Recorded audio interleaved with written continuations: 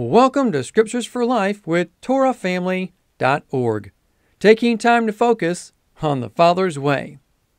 1 Kings chapter 13, verse 18. The old prophet answered, I too am a prophet, as you are. And an angel said to me by the word of Yahweh, Bring him back with you to your house, so that he may eat bread and drink water. But he was lying to him. if you have not read this story, I encourage you to make some time before the day is done and get the full context of what is going on here.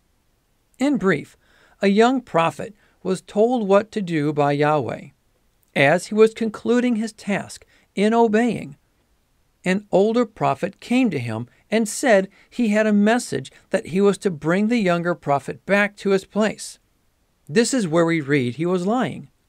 Yet the young prophet listened to the older one and did what he said. The conclusion of the story has the young prophet being killed by a lion, but not eaten. The moral of the story is that we are to do what Yahweh tells us and not what others say.